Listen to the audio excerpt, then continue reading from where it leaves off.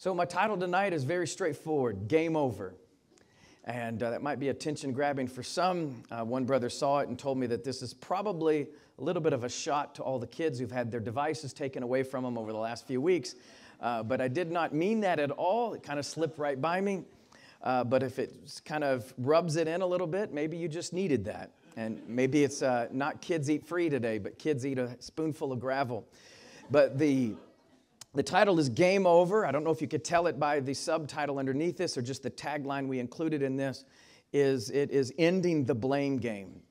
And originally my title was The Blame Game, but I just rather, rather put it in this context, Game Over, uh, putting it into the blame game. And in looking at that, I could say this maybe as a thesis statement. It's about taking responsibility, uh, taking responsibility for our actions, and just how much power is in taking responsibility. And there's a lot of things in our lives that are beyond our control. There's a lot of things that happen to us, and we're very quick to recognize I had nothing to do with this.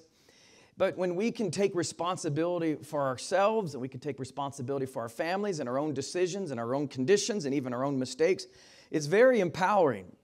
And it might not seem so, and I think it works against our human nature, but I want to look at taking responsibility because there's a power in doing that that breaks us out of a lot of mindsets that debilitate us and weaken us. And uh, kind of self-defeating is the phrase i believe i want to use is there's a self-defeating mentality that we feel that we're doing ourselves a favor by blaming but we're actually making it worse and bringing ourselves into a very negative cycle. So tonight game over. The end to the blame game. Now I'll just pick up right where we were in verse 9 as we've already seen that man was tempted the woman was tempted participation uh, continues to the man. Adam and the woman have fallen. They've come up with their ways of addressing their fallen nature. And now comes the moment when they're going to answer to God. And he says, And the Lord God called unto Adam and said unto him, Where art thou? And he said, I heard the voice in the garden, and I was afraid because I was naked and I hid myself. And he said, Who told you? I guess we could have read verse 8, but we just skipped over that part where they heard the voice of the Lord God walking in the garden and they were uh, and they hid themselves amongst the trees. If I, we read that good. It says, I heard thy voice in the garden, and I was afraid because I was naked and I hid myself. And now God says, Who told thee that thou wast naked? Hast thou? Adam points his finger at the woman, and then he says, What is this thou hast done? And the woman said, Adam points his finger at the woman, and then he says, What is this thou hast done? And the woman said, The serpent beguiled. Yep, I did exactly what you asked him not to do, but his answer is, The woman that you gave me, she gave it to me, and I did to verbalize what's taking place. Adam says, I was afraid and I hid. And it's like, well, what have you done? And their very first thing they do, and I want to look at it as one of the first characteristics of their broken nature, was to say, She did it. And then she's like, He did it, and points to the serpent. And we know that God, despite where the fingers were placed, in verse 14, he begins to curse the serpent, and there's judgment. But this was the act. Adam blamed the woman. The woman blamed the serpent.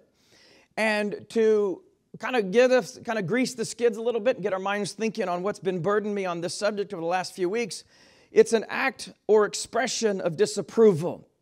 That's what the, a noun, blame, would be an act of disapproval. Or it would be the responsibility for something that is wrong or done wrong. You accept the blame or you place blame. It's an act of expressing disapproval or kind of re- the responsibility for something that is wrong. We used it as a verb where Adam blamed the woman. It's placing responsibility on somebody for something that you deem wrong. If somebody bakes a really, really good cake, you don't blame them for it, right?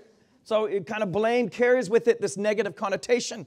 Uh, who's done this? And are you looking someone to blame? And when it's good, you're, you're looking to compliment, you're looking to express something. So blame kind of carries with it a wrong. Blame means if you blame someone, it means to find fault with them. And we'll, we'll kind of touch on what fault means here in a moment. Now, I, I share this, and I hope that this could strike you as adding some kind of layers or some depth to this, but to use the verb blame, if I blame you, it's a rebuke. The word means, and its uh, richness and its original meaning in of these other languages, it means to condemn or to criticize. And the very, if you want to say the etymology of the word or just the, the, the conjugation of it and what builds it and its prefixes and suffixes, the suffix of it, in the blame, it's the opposite of praise. It's something, just something that just struck me and I just meditated on for some time. It's a po- to blame is the opposite of praising someone. To blame is the opposite of commending someone. So if you just looked at it logically, that if something bad happens, you blame someone. If something good happens, you praise them or give them credit. And so blame kind of is the opposite of encouraging somebody. Blame does the opposite of inspiring somebody. And I want you to think about that, that that's what blame does is it does more to kind of tear down and more to harm someone just in its word because when you praise someone, that does something to encourage one, but when you blame, that's a discouragement. I think that's a good, important, very important, and very good point to consider as we talk about the blame game. Now, in Romans, so as we've looked at the failure of the man and the woman, in Romans chapter 5, verse 14, speaks this, and we're just kind of grabbing a truth from this. Nevertheless, death reigned from Adam to Moses, even over them that had not sinned after the similitude of Adam's transgression, who is in the figure of him that was to come. So it's Adam's transgression. Adam sinned. Adam, uh, he, he made a mistake, and though we can kind of delineate where his mistake was and what he did and how he fell and what he was knowledgeable of and, and what his act was, if we could put it this way Adam's transgression, the phrase suggests that he bore some responsibility.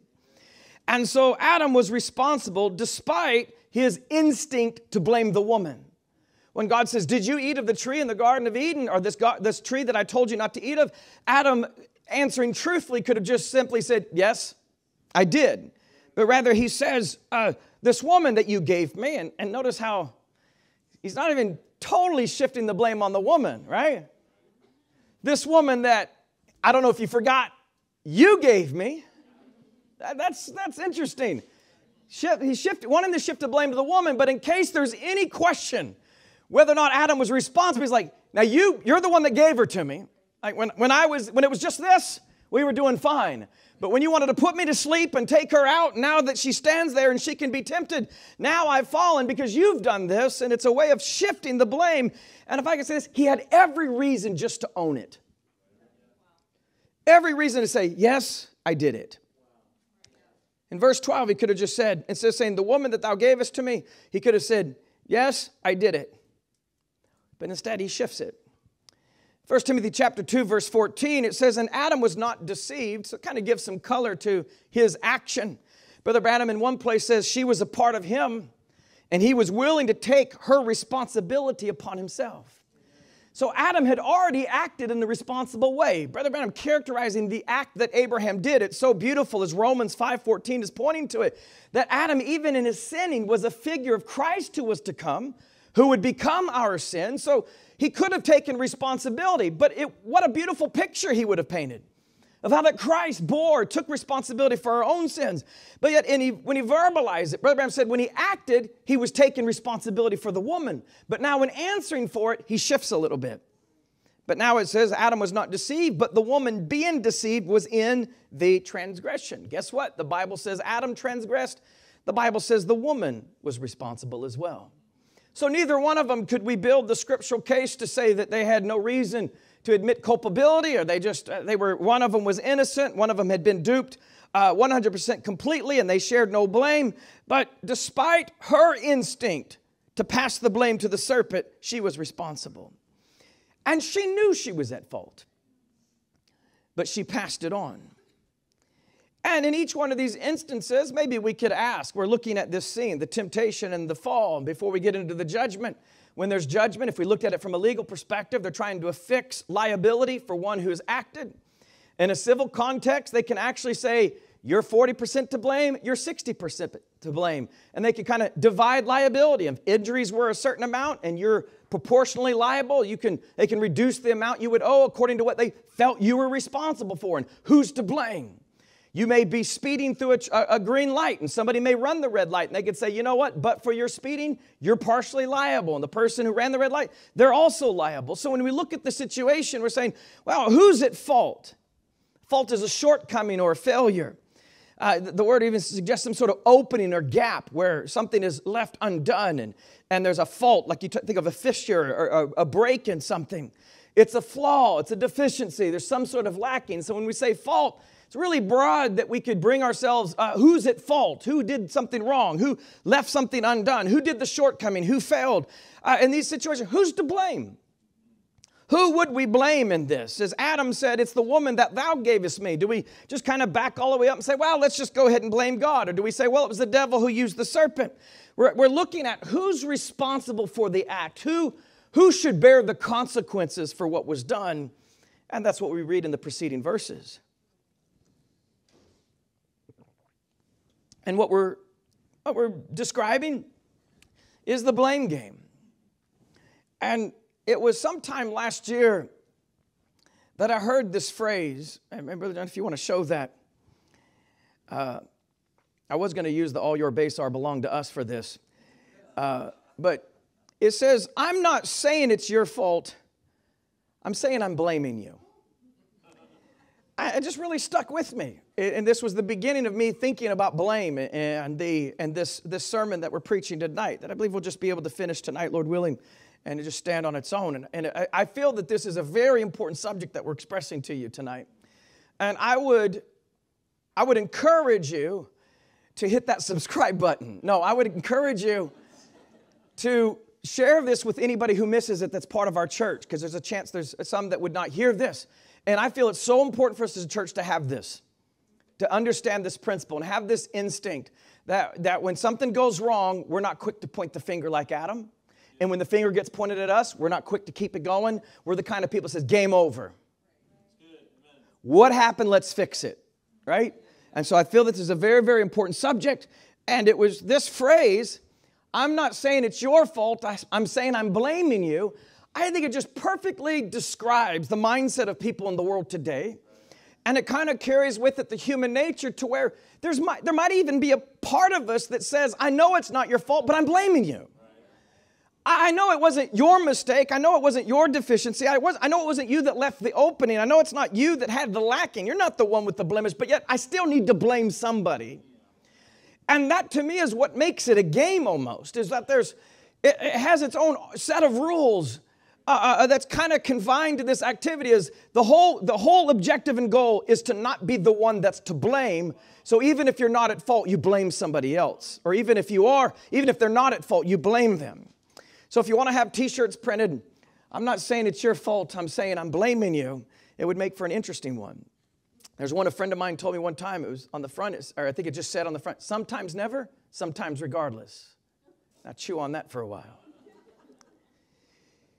Now, as we've looked at the very first blame game, I hope we've kind of introduced some things into our hearts tonight, our minds, as we think about it. And fault and blame, if we're using blame or fault and kind of using those interchangeably, they really center on responsibility. And so, though it would say, I'm not saying it's your fault, I say that I'm blaming you. You know, in some ways, what's happening is since blame and fault relate to someone's responsibility, to blame someone would be our effort to make someone accountable. So something happens, uh, the, the man eats uh, of the, in the analogy, eats of the tree of the, this fruit of the tree, and now he's partaken in it. And now, as he's been called in the carpet, did you do what I told you not to do? He, when he says, The woman that thou gavest to me, there, there's some sense in what he's doing. He's trying to say, You know what? She's the one that should answer for this. Because the question was asked of him, and by pointing the finger, he's trying, it's an effort to make the woman accountable. And so we blame or find fault when someone is irresponsible. And we do that because in the most innocent sense, we want them to answer for it. And so now I feel like I'm real deep into the teaching part of this, to we're trying to unpack this blame game and how it works. That when somebody does something, let's say that you're not even a participant, you're an observer, and you see that somebody does something and causes something, and you're like, oh my goodness, look what they've done. And someone says, what's happened here? You go, he did it, he did it. It's the very action of saying, well, he should, he should be responsible for that. He, he, should ha- he should answer for what he's done. So it's our attempt to get them to answer for something they've done. Now, I, I, I, may have lost count, and I don't know if I wrote it down here what it is. So if I get the numbers wrong, it's not an Easter egg. I apologize. I just got it wrong. And uh, it reminds me of a sermon Brother Paul LaFontaine uh, preached one time where he called it three simple words, and he kept using four over and over and over again. And it was just three simple words. Just remember these simple words. You know, and just Thou shalt love thy neighbor as thyself. It's kind of. But I want to go through some problems. I think I maybe have six here, just three simple problems, six of them. And And the first problem I identify with the blame game, because now the instinct to blame someone is they need to answer for this. But you know what? People just instinctively resist accountability. It's just wired in us that whenever, and, and, and it's just really, really strong from a young age, that whenever someone's, did you, did, you know, a kid could be one and a half years old and learned its first words and has got a paintbrush in their hand, paint everywhere, paint all over the wall. It's like, did you do that? And they're like, and they point to the dog, right?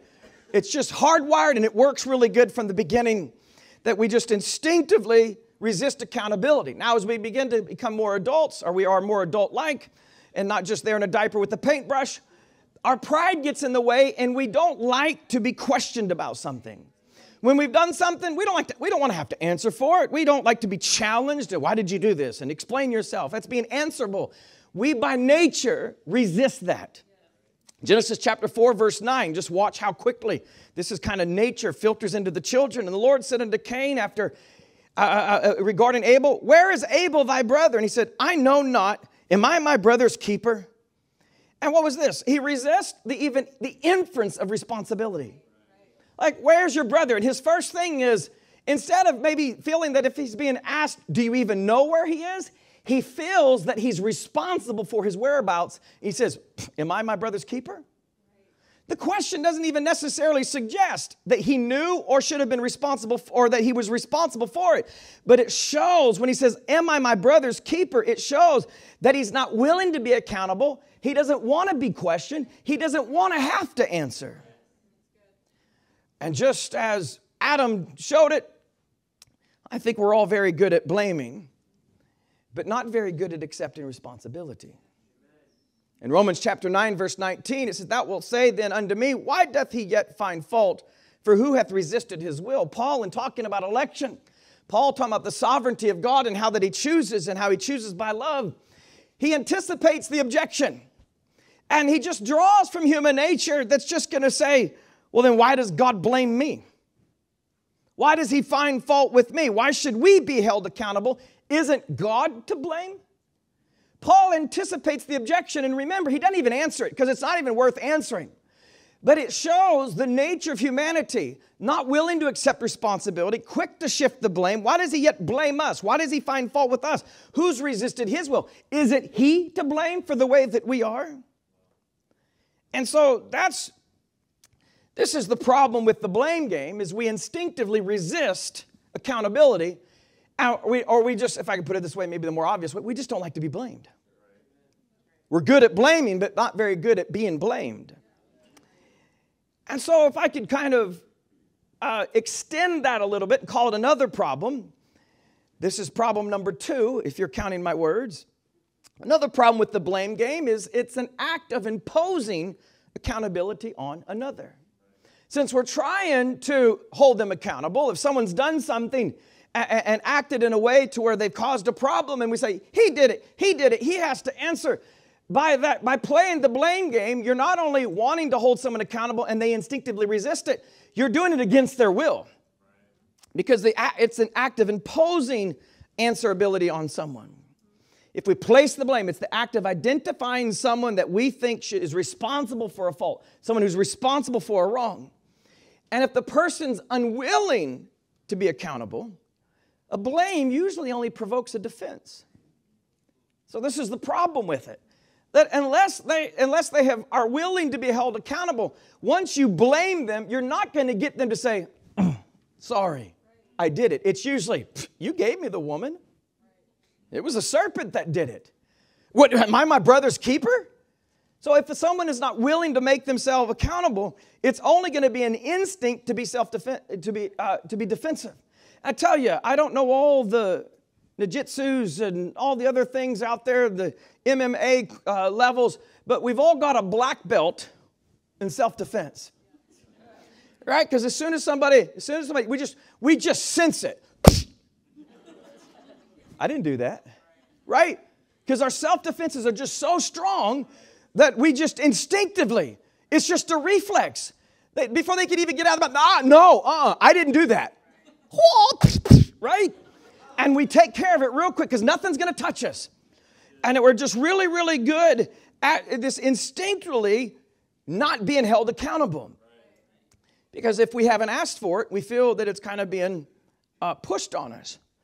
I had a friend one time that says uh, it was unsolicited or uns, an unsolicited advice is criticism in another form. They just didn't want to be accountable. But there's a truth to it because that's how you're going to take it.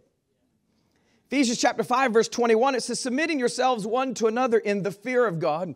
There's a lot that could be said about accountability. I'm kind of carving this out just as a little part of the blame game. But when it says to submit ourselves to one another in the fear of God, the word submitting speaks of arranging ourselves, not necessarily underneath somebody, but it's arranging ourselves to one another. That if we submit ourselves one to another, you tell me who's submitting and who's not. If I've submitted to you and you've submitted to me, who do you say is the who, who's the most powerful? Who's the one under subjection? We've submitted to each other. We've leveled it. So it's not so much trying to put someone on top and someone on bottom and someone in power and someone in a position of weakness. If we submit ourselves one to another, the phrase is suggesting that we're arranging ourselves to one another in relationship. And that it's a voluntary, the word submitting ourselves one to another, it means a voluntary attitude of cooperation. It is, it's a giving in. It's assuming responsibility that I'm going to assume responsibility. I'm going to answer to you, and, I, and you're, I'm willing to answer to you. And it's this mutual accountability and this mutual dependency where we're going to mutually carry a burden. I'll answer for myself. You're answering for yourselves. Okay, let's submit ourselves one to another. And to submit one to another, it means to yield to one's admonition or advice. So, it, in that way, you just take care of the fact that it's unsolicited advice. You say, I'm willing to hear, I'm willing to listen. That's what it means to submit one to another. To submit to someone, it means you're making yourself subject to answer to someone.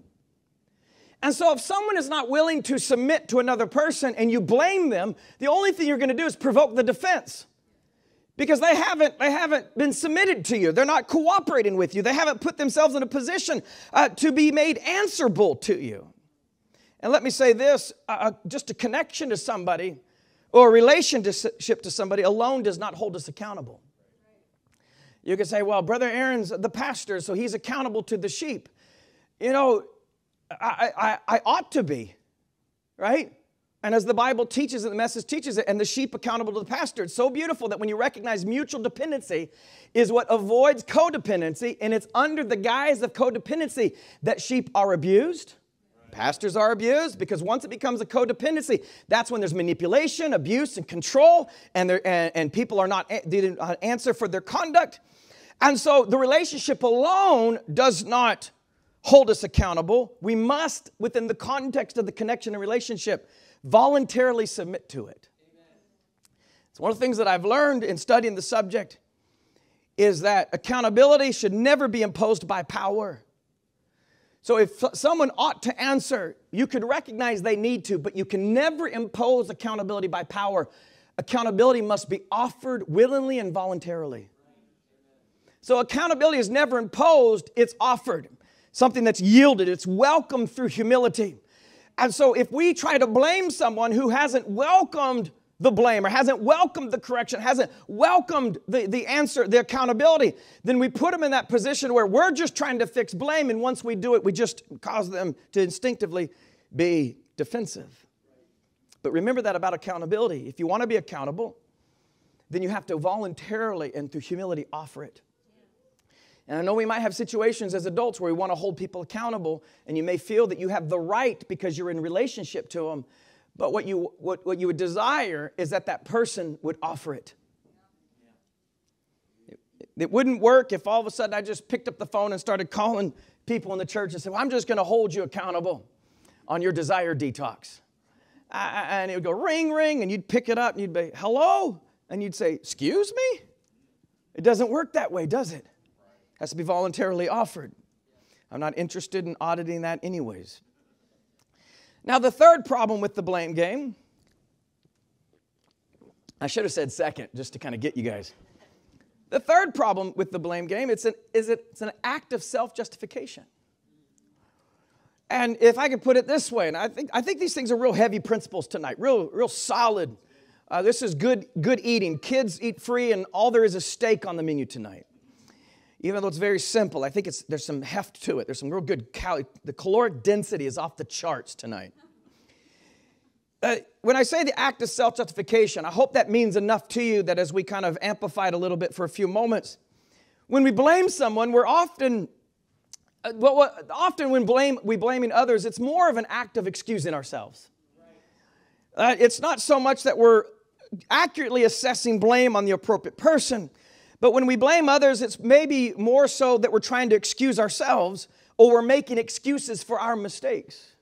Adam did it. Adam could have said, you know what? I shouldn't have done it. But I knew, Lord, that if, if I didn't take her to myself and show some responsibility, she would have died. Adam more or less used by pointing the finger, he, finger, he was making an excuse as to why he did it. And so, if we're going to have willful personal accountability, if we're going to voluntarily, through humility, take responsibility for our actions, then, uh, then we've got to we've got to demonstrate that example first.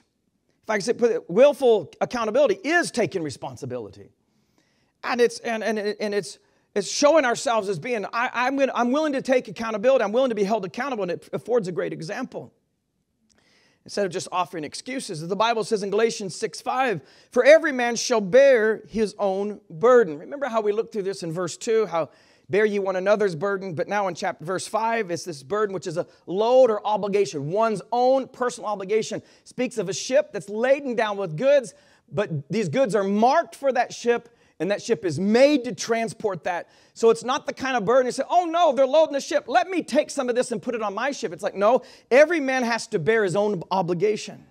Notice we have to answer for ourselves. We, we, we, we, we must answer for our load, for our responsibility, for obligation, in not loaded up on somebody else. Because that's what verse 2 is saying. Uh, bear you one another's burdens. And in other words, the number one rule of that would be carry your own and don't put on them your own. Don't put on them somebody else's. So we must answer for ourselves and not this, put this heaviness or this inappropriate weight on somebody else, according to verse 2. And so blame, the blame game, one of the problems with the blame game is it is evident that when someone blames somebody else, they're usually not necessarily wanting to actually hold somebody truly and purely accountable, but there's an element of excusing themselves with it. And so throughout this, I'm, I'm hoping maybe just to kind of look at the other side instead of just focusing maybe at one time on the, the positive side of not playing the blame game.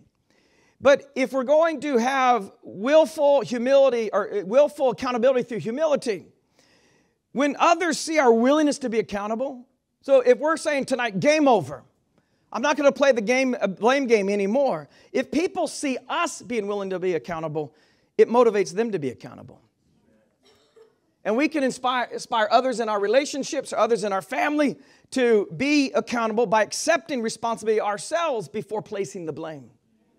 Because we're only, we're only affording them an example. That, and, and I wonder where he, uh, the woman got the nerve to blame the serpent. She's sitting there going, We're busted, we're busted, we, we're, we're, we're dead in the water, there's no way we're getting out of this. And, and, and Adam says, I didn't do it. The woman you gave me, she did it. And she's like, I didn't think about that.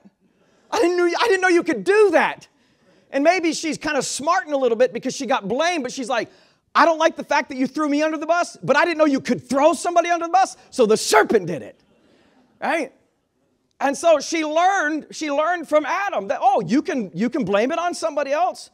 And so if we said game over and we were willing to accept responsibility, accept the blame, it affords somebody else the example of accepting the blame and it motivates others to be accountable.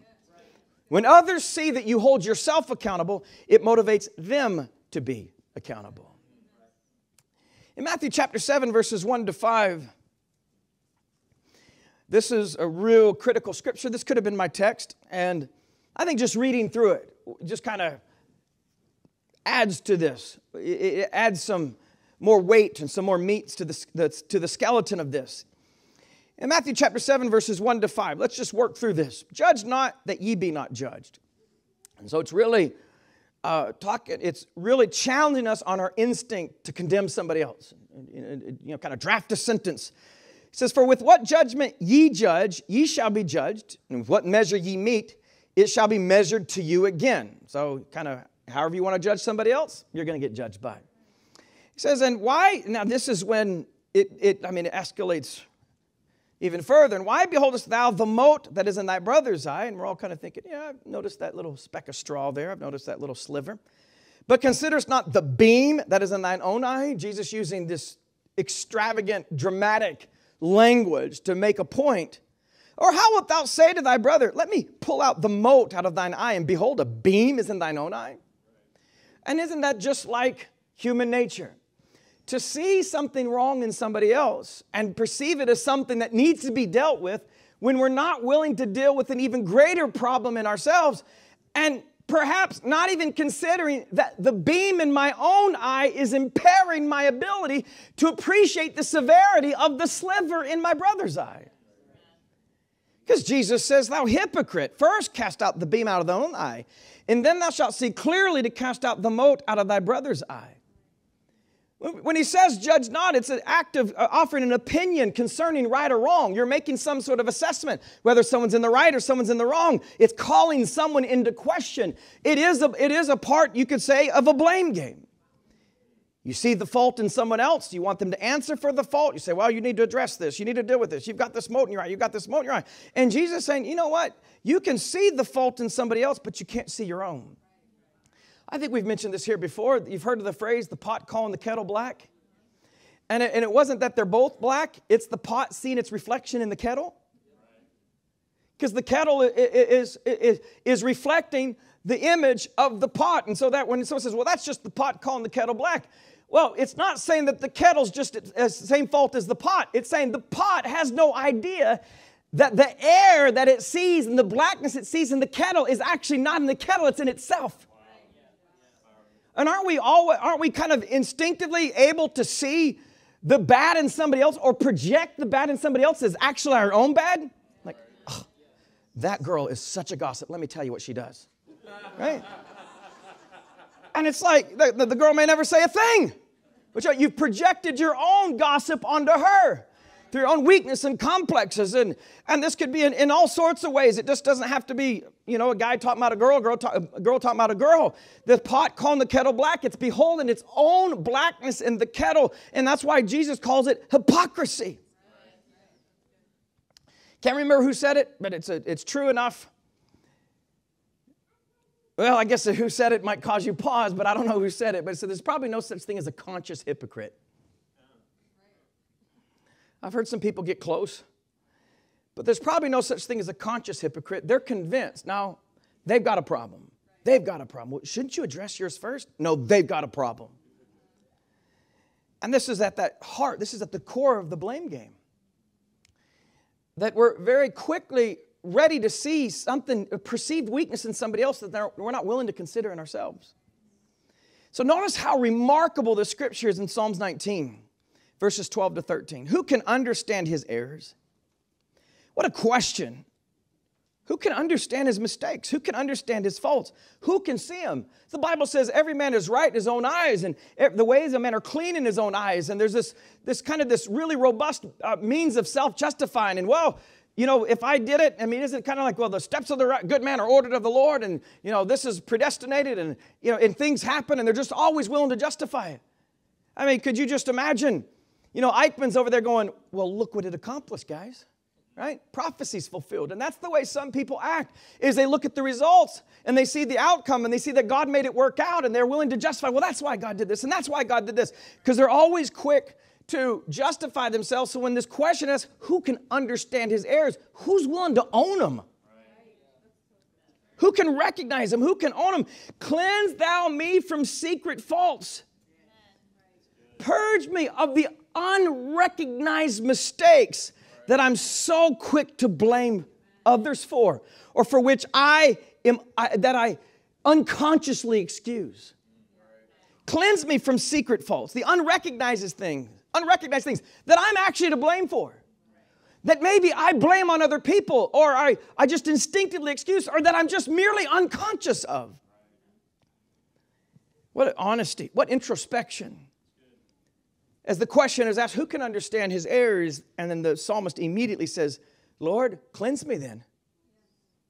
And then he says, Keep back thy servant also from presumptuous sins.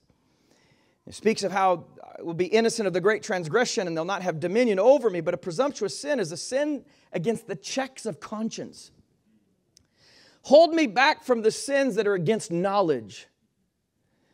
Now, I just want to open the door and just point into the room where cognitive dissonance lives. And I know enough tonight to not go there because from that moment on, you all would exercise it to the very end. But this, this, this part of our brains, like we don't, cognitive dissonance speaks of how we don't like it when we get uncomfortable. And we don't like it when we have when we think something is true and we're confronted with evidence that we might begin to recognize that controverts what we're, the, the opinion we already hold. And that's called dissonance. And so what we do is we just n- reject anything that makes us feel uncomfortable. And so this is, I believe, what presumptuous sins is kind of touching on, is how there's this check against your conscience. And it, it, if I can put it this way, knowledge without action only increases our sense of guilt. When you know something and don't act accordingly, or when you know something and act against it, it only increases our guilt. So the presumptuous sins, these are the things where I'm acting against knowledge. Now, David, the psalmist, just said, You know, Lord, who can know his heirs? Purge me of my secret faults for these things that I'm not aware of that I do, that maybe I unconsciously blame on somebody else or I'm unconsciously excusing, the things that I've been able to justify without even a thought. But Lord, even those ones that I know I shouldn't do, but I just find myself saying, it doesn't matter, and coming up with excuses for it. And because this knowledge without action or acting against knowledge increases our guilt, because cognitive dissonance is such an uncomfortable feeling, we're quick to shift the blame and excuse our conduct. I'm going to read a statement from a book that I read years ago. As fallible human beings, all of us share the impulse to justify ourselves and avoid taking responsibility for any actions that turned out to be harmful, immoral, or stupid. I don't know why I said stupid so aggressively. I think it's the, the drywall dust. My lisp is in 100% full active mode too. They, if you could think about that, how we all share the impulse to justify ourselves and avoid taking responsibility when something is harmful, immoral, or just wrong or strong headed or wrong. And, and, and, the statement that's made in this book is how do you get a moral man to lose his moral compass? And I'm kind of rephrasing it says, just let him make one mistake and self justification will do the rest.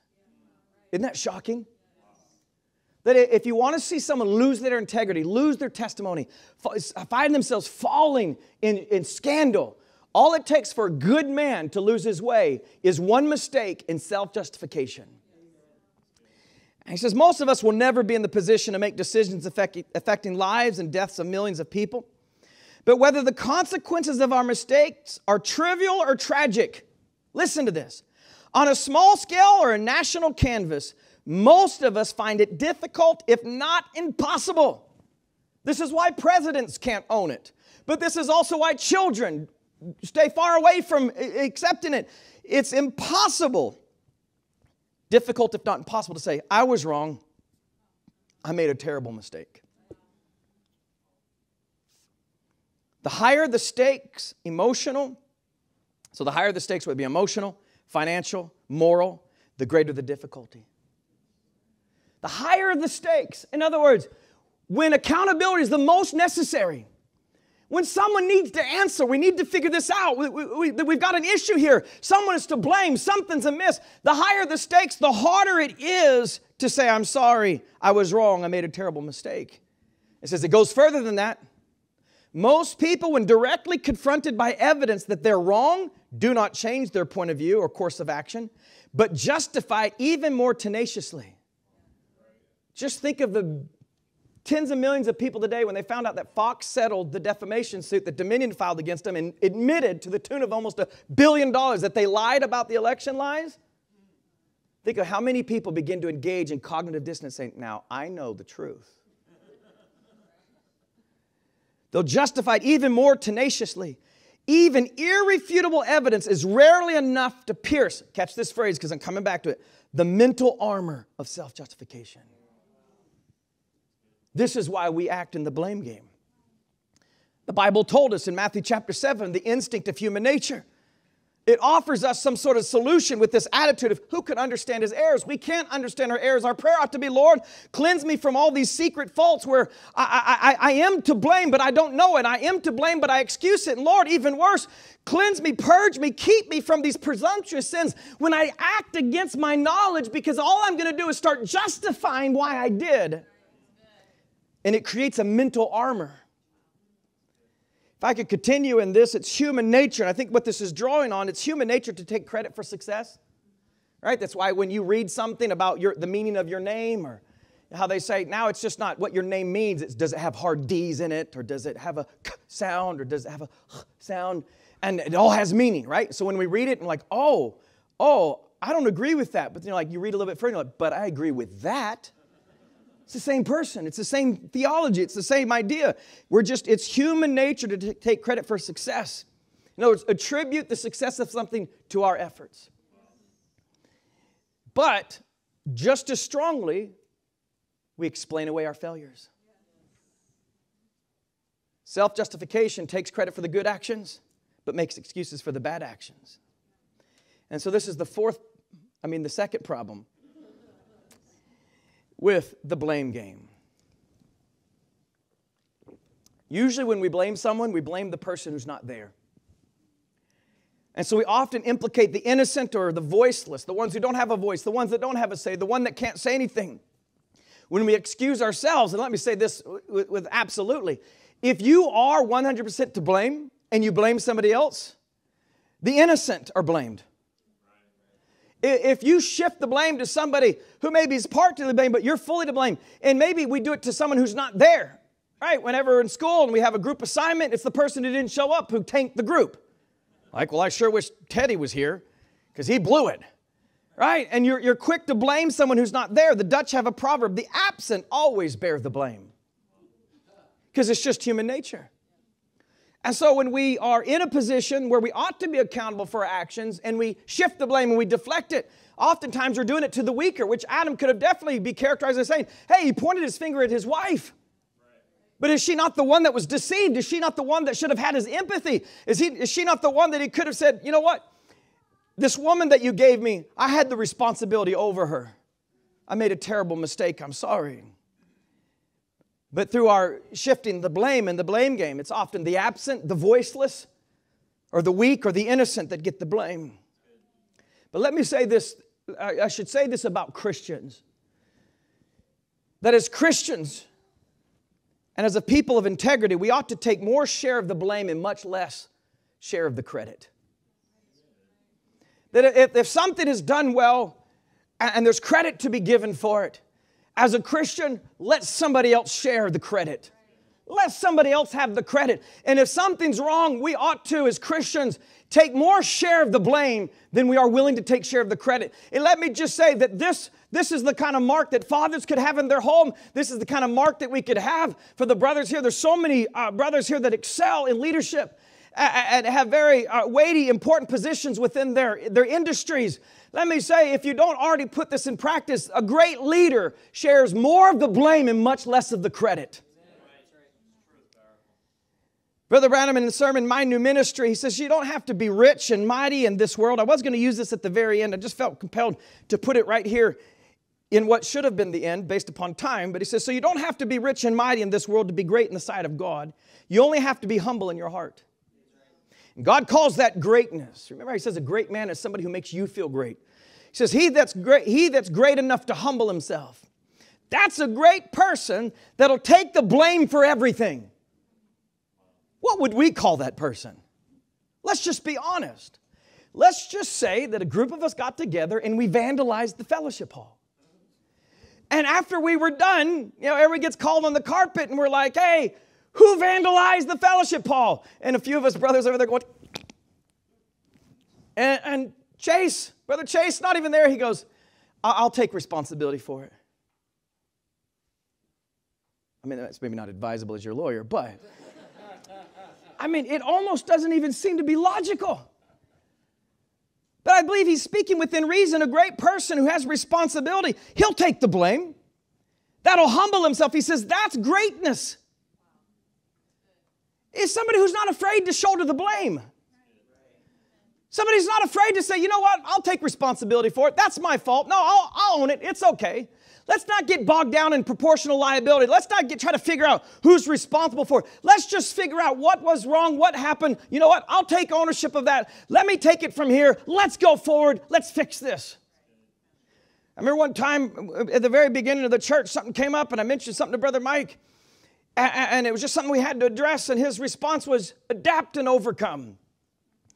And you know, he, he, he, didn't have time to try to figure out who's wrong, how we should handle it, or you know, how it could have been handled. It was we see the need, let's just adapt and let's overcome in the moment that we're in.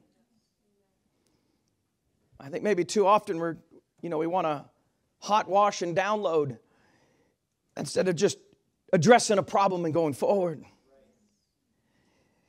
I know it may be politically incorrect to quote Dilbert, but I believe this is from, it was either from, I'm not, I, don't know if it's from Mr. Adams. You saw what I did there. But it says, the job isn't done until you've blamed someone for the parts that went wrong. That's where we live. Job's not complete until you found someone to blame for the parts that aren't perfect for all the hiccups, for the delay. We got it done, but we didn't get it on time, and it's Teddy's fault we didn't get it on time. And so the third problem with the blame game is it keeps us in bondage to weakness. I think this may be just one of the most important parts, and, and, and I think we're still doing good on time if I could finish in seven minutes. But the problem with the blame game is it keeps us in bondage to this, to self defeat. We're defeating ourselves when we choose to play the blame game. When we put a quarter in the arcade to play the game, the blame game, it's, we're admit, we're, we're, it's a, it's a self-defeating move. And it keeps us in bondage to weakness. This is something I found as I studied the subject. The blame game is often played by those who have a victim mentality. And I believe that some could be characterized as this, but we can momentarily, in certain instances, though it may not be our character, there's times when we feel so overwhelmed or we feel so attacked, we feel that something's so wrong that we kind of take on the persona and the feelings and we consider ourselves the victim. I'm the aggrieved. I'm the victim. I'm the one that's harmed.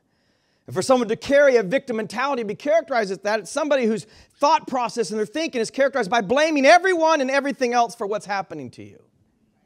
In other words, these unfortunate events that have happened, I'm the victim. And it's kind of a way of saying, I didn't cause this. They're just out to get me. I didn't do this. This is a conspiracy. I'm not responsible. This is just how my life works. And I know that I could spend a lot more time on this mindset of the victim mentality and how that when we blame others, we're, we're, we're yielding. Where's that? When we blame somebody, saying, that person had the power, that person had the control, I didn't. I'd love to spend more time on this, but I want you to catch that. When we blame somebody else and we're willing to let them be fully answerable for it, we're saying, it was outside of my power. Do you know notice, what you've just done? You've just forfeited your liberty. You've just forfeited your power. You forfeited whatever right you had to not participate. So no, I'm in, I am subject to that whim. I'm subject to that person. Whatever their actions are, I'm drawn, just got like a tractor beam. I'm just drawn into it and I had to do it. And let me just say this problem with the blame game, it keeps us in that bondage of mental weakness. It keeps us in that self defeating cycle. Uh, we're blaming everyone and everyone else, but when we blame, we're basically taking more power and giving it to somebody else, more power and giving it to somebody else. Let me say this you cannot overcome, you cannot address the problems in your life if you insist on being the victim and always blame somebody else. Leo Tolstoy, I know I'm probably not saying that right since it's Russian, but he said a bad mood is often the reason for blaming others. But very often, can you catch this? His brother Leo has to say this. Very often, blaming others causes bad feelings in us. And the more we blame others, the worse we feel. Think about what's going on inside of our spirits and how strong these mechanisms are in our hearts. Talk about a segment of character disorder. That when you think about how someone has done something and we have this victim mentality, maybe we're in a bad mood, so we blame somebody else. But he's saying very often it's blaming others that causes the bad feeling. So something's happened, and when you, as soon as you attribute blame, I hope you can catch this. As soon as you attribute the blame, that your sense of offense grows greater. And you think it's because you've measured what they've done appropriately. Like, I can't believe they did that to me. Ow! That is disgusting. I can't believe they did that. You should be ashamed. Oh my, you are fully, oh my goodness, the worse we feel and we don't realize it. We're doing it to ourselves. We've only begun to feel worse and worse and worse because we're putting the blame on somebody else and our conscience is saying, You know better. You know better. But what we're doing is we're trying to pass that ugliness onto somebody else, and we don't even realize that the reason why we feel bad is not because of the initial offense, but because of all of our efforts to place the blame on somebody else and not accept responsibility ourselves. It's self defeating because we're overtly relinquishing power and self control to somebody else. Or maybe not self control, just control to others. And by blaming others to some degree, and I'm careful how I say it, by some degree, we're admitting on some level we're powerless. Proverbs chapter 28, verse 13 He that covereth his sins shall not prosper. He that makes excuses for it, he that justifies them himself, shall not prosper, shall not advance, shall not make progress, shall not be profitable. In other words, if you cover a sin, it corrupts you. If you cover sin, it weakens you. You can't advance, you can't grow. It has a defiling, corrupting nature to it. He that covereth his sins, whoever is in the mode of blaming, excusing, self justifying, he's not going to advance. And now notice the Bible says, But whoso, whoso confesseth and forsaketh them shall have mercy. I draw from this scripture the claim that blame is one of the most destructive forces in relationships and one of the most destructive forces in our families. Whether you want to talk about home or work or any kind of relationship or church, blame is one of the most destructive, corrupting, defiling forces there are. You know, it could be said that some marriages crumble because of acts of infidelity. Some marriages crumble in moments or instances of violence, and, and it's obvious, and there's things that are done, and we can attribute the crumbling of that marriage to uh, uh, some distinct uh, unfaithfulness or some harm or some damage that's done. But you know that most marriages slowly dissolve and an escalating, of pattern, escalating pattern of blame and self justification. This is, this is where, and you say, oh my, you know, why, why are you talking about the neighbors in the apartment next door? It was super relevant to this point. I think it's important for all of us to think about what corrupts our relationships and how marriages of people that we love and even people who claim to believe the message and people who, who claim to love each other, how do they get to the place where they have contempt? How do they get to the place where they're no longer willing to work together? You can see that it's often just this snowballing of blame because they've been able to at some point put the blame on this person. And maybe they act defensively and maybe they're not owning it and maybe it's their fault. But if you've been able to somehow attribute 100% of the blame to somebody else or use the fact that they have some blame and they're not willing to own it to not own your own, then it creates this pattern of self justification for the ones you know and for the ones you're willing to be blamed for and blame for everything else. And without noticing it, I think this happens in so many relationships. You're free to amen to the extent that you agree and don't feel like you're getting called out on it. But when we start with that blame game, and even in the context of relationships, we don't even notice it, but we become entrenched. This is how people get polarized through cognitive dissonance, through blame, through self justification. We get entrenched in polarized positions, and one feels this way and the other one feels that way, and they're both saying, but it's his fault. And they're saying, no, but it's her fault. And they're stuck in it. What got them there? The blame game. And that's why it's called mental armor. Because the Bible said, Whoso confesseth and forsaketh them shall have mercy. That mental armor, blame hardens our hearts. That's what it does.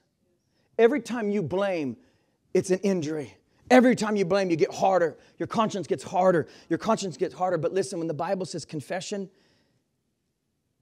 it, it softens it.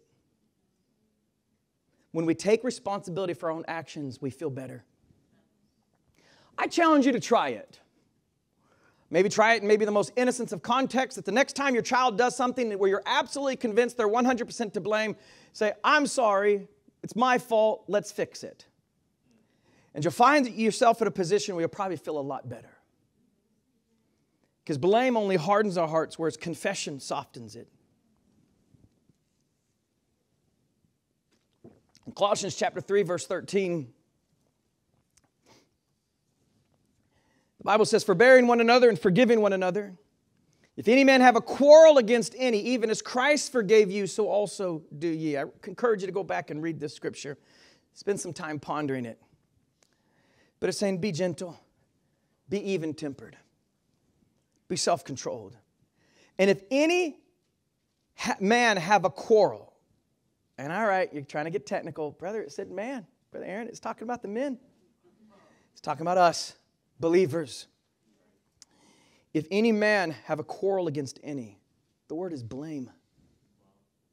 If anybody blames somebody else, if anybody has a complaint against someone else, if anyone finds fault in somebody else, forgive them.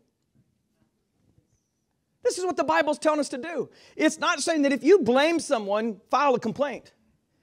If you blame someone, you know, you need to place the blame. It's actually saying, you know what? Let it go. Forgive them.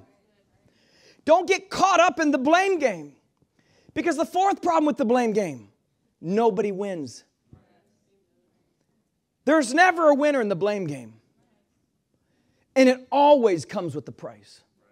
The Bible's saying we have to forbear one another, forgive one another. We have to be gentle. We ought to be even tempered. And if any man blames somebody else, if anyone have a complaint with somebody else, what you ought to do if you have this instinct to blame, if you recognize the blame, recognize it and pay, uh, in placing blame, it comes with the price. And you may think it's just a quarter in the arcade. You may think, oh, this game is free. This is free where I can play it as much as I want. No, it always costs to play the blame game, and the cost is high. Because even when blame is justified, even when you feel that person is to blame and you absolutely know it, I know those brothers are the ones that uh, vandalized the fellowship hall. I know they're the ones that did it. They need to answer for it. It carries negative consequences. And if I could put it this way, just so you could understand, the blame game, there are no winners, there are no resolutions. The game can, the, the only way that you can end the game is to quit it and say, game over. I won't play the blame game anymore. Because it just escalates, it spirals, it goes out of control. And if I could say this about the blame game, the reason why I say it comes with the price and it carries negative consequences, it is the exact opposite of problem solving. We expend so much energy trying to figure out who's at fault. We, have, we put so much effort in trying to place the blame. Whereas instead, we ought to, as Jesus says, forgive and look for a solution. Forgive it. If there's pieces that need to be picked up, let's pick them up. Forgive it if there's something broken, let's fix it. Let's not shame somebody and shake somebody and uh, uh, begrudge somebody. And, and you look at the other scriptures that are being used in this context. It's encouraging us. Listen, when something's been done and it's wrong, the opposite to problem solving is trying to place the blame and figure out who's liable and who's at fault. The best thing to do is to forgive and fix. The Bible says, forgiving one another. In other words, some of the translations say, be quick to forgive. Why? Because Christ forgave us also. When we were guilty, right? When he could have put the blame entirely upon us because he was guilty, what did he do? We're the guilty ones, and he said, I'll take it. He shouldered our blame. He accepted responsibility for our faults, and he forgave us. Even there, when he's down on the cross, he doesn't say, You crucified me. You put me up here. He said, Forgive them, Father, for they don't know what they do. So, if I could say this, even when the fault is clear, even when the blame can really be placed upon somebody, we ought to have a deeper empathy for the offender. We ought to be more moved to forgiveness. Yes, blame is available. The blame card is on the table. The blame game is always available for you to step up to it. But you know what you could do instead of blame? If any one of you have a blame against somebody else, he's saying, be quick to forgive. Don't enter into the blame game. So when we have an opportunity to blame, we can be empathetic. I know this is the lengthy quote, but I feel we're doing awesome on time. I mean, let me just say this in terms of being empathetic towards those that make mistakes. In Galatians 6 1, I think we even have the scripture there. It says, Ye who are spiritual, when you find one taken in a fault, when you find someone to blame, ye who are spiritual, restore such a one in a spirit of weakness, considering your own selves. What does that speak of? Empathy. When someone makes a mistake, are you above them? Have you never made one? I mean, it was a question I asked one, somebody one time. I said, Have you ever made a mistake when doing this? And, and, and, I kind of impeached them a little bit. I kind of boxed them in. And when I asked if they'd ever made a mistake, they wanted to say they never made a mistake. So, you know what they said? This is where I kind of paused on a conscious hypocrite. They said, Yes, Because if I say no, it'll come across as arrogant. So they admitted to making mistakes just because they, if they it said that they hadn't because they thought they hadn't, they know they would sound horrible. And that's where it's like, where's the empathy? When someone is in that place where they never do anything wrong, they've never made a mistake, then how do you think they view everybody else who does? And so, where do we get as people when we look at a young person who's making a mistake? We look at an individual that falls and we immediately just judge them and castigate them and say all sorts of nasty things about them. What about yourself? Who would we be without the grace of God? We should throw our, we should acknowledge, as the Bible says, who confesseth and forsaketh shall be shown mercy. Why don't we just say, I am what I am by the grace of God? And but for the grace of God, there goeth I, and that I've somehow found myself in his bed of mercy, and they're renewed every morning, and he's kept me, and he's provided for me. And if it, listen, if it wasn't for the grace of God, we'd all, we would all be wrecked.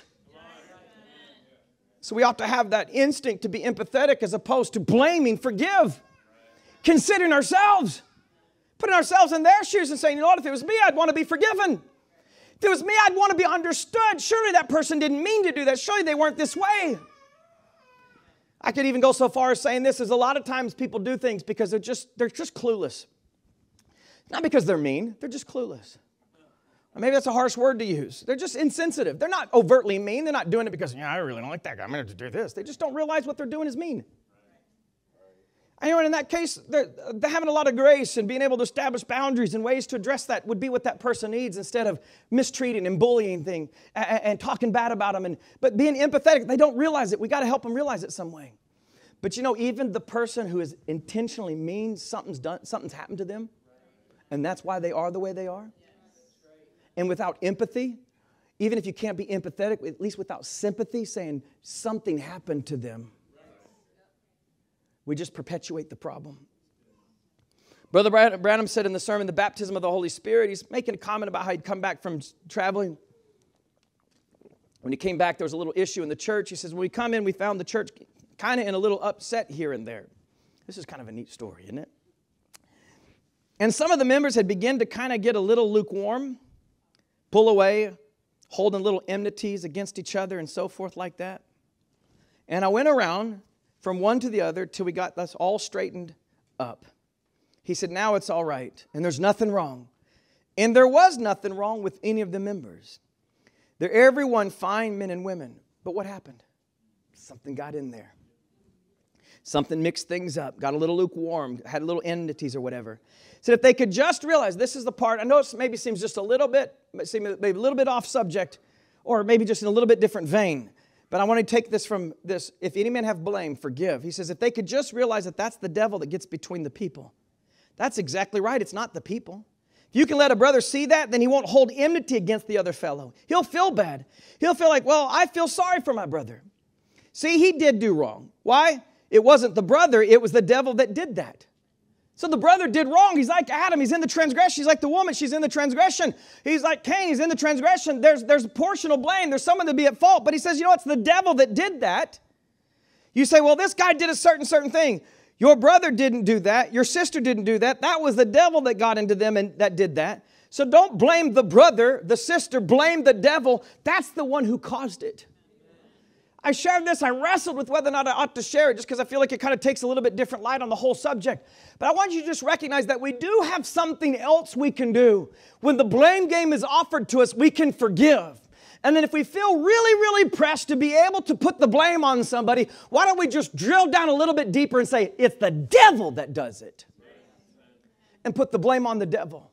We say, well, yeah, I mean, maybe I mean, the serpent was responsible, and Adam was responsible, and the woman was responsible, and we could recognize all the responsibility, but just place the blame squarely on who we can blame so that we can have some empathy. And if not empathy, some sympathy for those who make mistakes and are at fault. Ah, the blame game. I hope we can say game over to it. The Bible says, Who can understand his errors? And then ask, Cleanse me, cleanse me from my secret faults. That's the attitude I want you to have. I, if we could, with the slide there, just in, in, in your view, Who can understand his errors? Cleanse thou me from my self justification.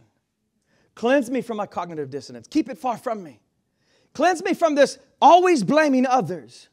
Doesn't make you a bad person. It's helping you understand what you do have responsibility over. There's people that are gonna, ha- they, they are to blame. They did make the mistakes. They did do things to you. They are responsible. But Lord, what am I responsible for? What are our, are, are my errors? I believe this is the attitude that we ought to have. What is my share? What could have I done better? This happens a lot uh, in, in, in counseling. That generally people come to you with a problem they have with somebody else. And, and what they're wanting to hear from you is all your opinions on, on how bad that person is and what we can do together to fix them. And I've had this happen in all the, the, all the years I've counseled. For whatever reason, God always put it in my mind that when someone comes to me with the problem and the problem's with somebody else, I, am not counseling somebody else. I'm counseling the person that came to me. And my instinct has always been, well, what can we do to help you to overcome this? And you'd be surprised how many times it's like, me? I've got to do something about this? You mean you're not you're not going to go talk to him? Wait, what do, you, what, do you, what, do you, mean? The person doesn't even go to our church. They're not even a believer. You want me to call them? Say, I don't know if you heard, but I'm a message pastor. And you are wrong. I'm so sorry. And you start to counsel the person. You say, well, you know what? You need to show a lot of grace. You need to show a lot of patience. Have you said or done anything that provoked this? Did you do something to put yourself in a position where they didn't trust you? Well, how dare you?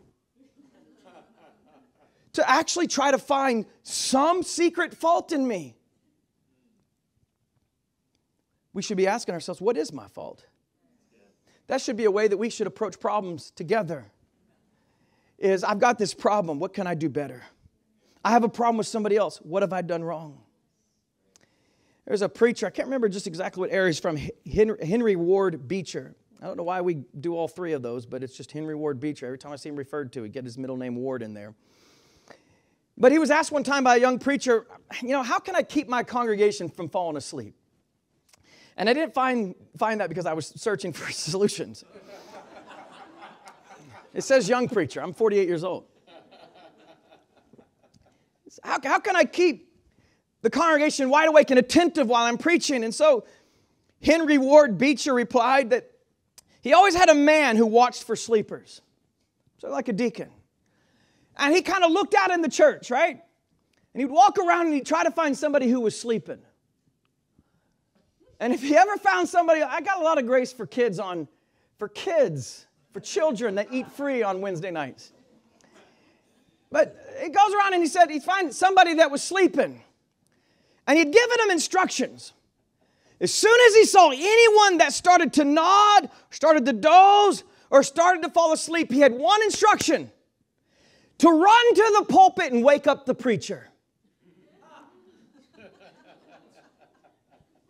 And that was the instructions.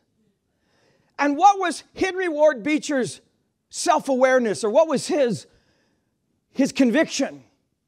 I'll take responsibility for the ones that are sleeping. Don't rouse them up. They probably have their reasons, much better than my own, and they, they may have gone through this and they may have that problem. Wake me up because perhaps I'm the one that put them to sleep. And what I loved about that, that's you can put that slide back up there, Brother John. Game over. I love it. Game over. Young preacher comes to Henry Ward Beecher. Uh, how could we keep the congregation from falling asleep when I'm preaching? That's a good question let's figure this out and let's find out all the things that make them sleep and let's find out what they're doing the night before and you know whether what energy drink are they uh, using because some work better than others and let's do vitamin b pills it. Just it, nothing was about saying you know what young preacher? Don't put them to sleep. That was game over to the blame game. It didn't even start. And i say let's quit it. Anybody here playing it you know, you know, in the Nintendo days when the game wasn't going the way you liked it, you hit the reset button, right? You just, you just hit the reset button. That was it. You could start all over. I don't know how the gaming systems work these days. Who knows? It's probably one of these things where you can't get rid of it, but it's there again. But I, I just suggest turning off the game console, turning it off, just get rid of it.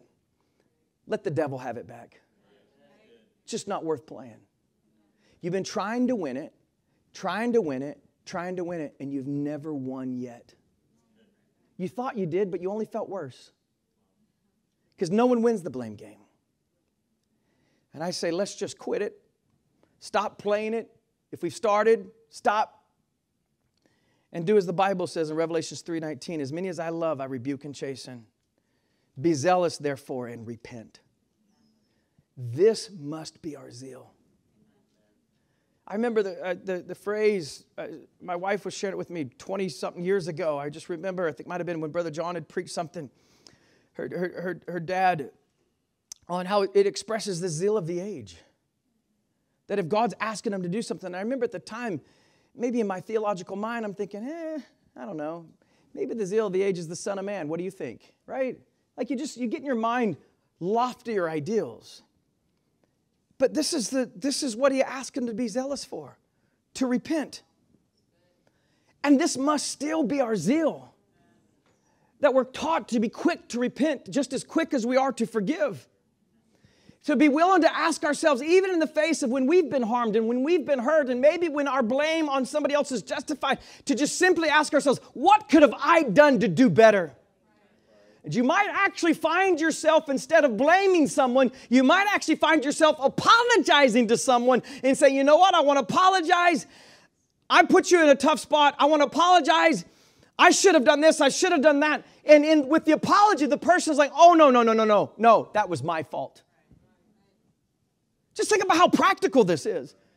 That you're willing to own it, you're willing to accept it. You've got down on your knees before God in prayer. You've confessed and forsaken. You've softened your heart, and you haven't hid yourself behind the mental armor of self justification. And now you begin to feel and you begin to get over those barriers enough to say, I'm sorry, I didn't mean to do that. And the other person's like, Oh, I accept your apology, but really it was my fault. What you don't know is I did this and put you in that situation.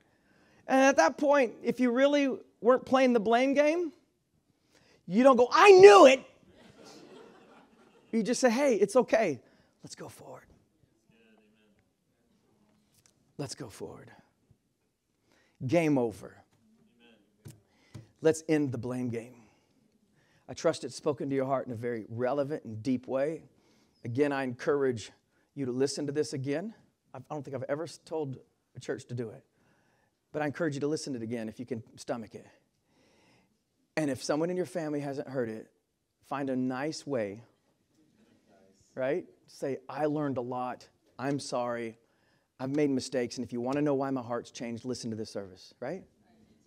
Instead of saying, I heard something tonight and you need to listen to it. like, of all services you missed, you missed the one on the blame game, right? No, let's not do that. But I think it's important for us as a church. I want this to be a part of our character as a church. I want this to be part of the way that we handle di- differences with one another. I want this to be a part of how we handle our relationships. Because as a church, we're growing, and we're not just growing because we're knocking out walls, we're tearing down barriers. We're tearing down barriers and we're growing closer together. And as we do, we need to understand one another and we need to be able to not engage in these, these instinctive things that are harmful to ourselves and hurtful to other people. And I want us as a church to have it in our hearts that the blame game is not an option, but solving problems is. And we will work through things and we'll make things right and we'll figure out a, way to achieve success instead of trying to figure out a way to shame somebody and blame somebody. Will you, will you agree with me that game over? It's the end of the blame game as a church. That we will, and, and I'll, I'll promise this to you as a pastor, I'll take responsibility. I'll hold myself accountable to you. I willingly and voluntarily offer it to you. I'm willing to be accountable. And let's not have a blame game in this assembly. And if we could do it as a church, maybe it'll be a good example for you and your families. And I know it'll make a difference in your life. I love you. Thank you so much for your attentiveness tonight, your patience. It's been worth it. Could we stand together?